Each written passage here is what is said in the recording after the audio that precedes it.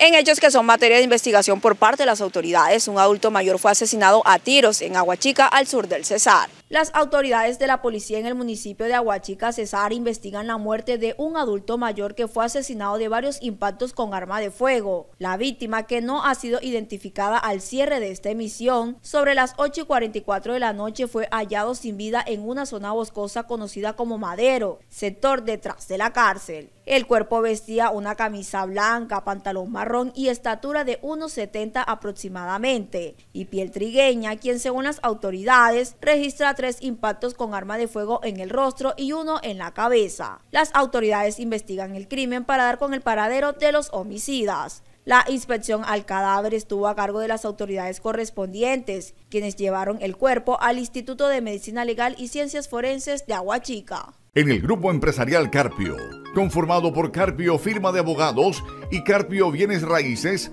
contamos con un equipo capacitado para brindar los más eficientes servicios de asesorías, consultoría, interventoría en el área legal, así como el área de la administración de inmuebles. Estamos ubicados en la calle 9A número 1557, en el barrio San Joaquín. Contáctanos al 316 666 1017.